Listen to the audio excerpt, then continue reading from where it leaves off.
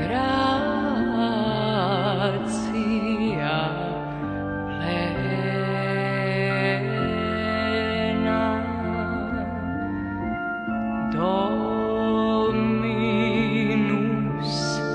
tecum et benedicta tu in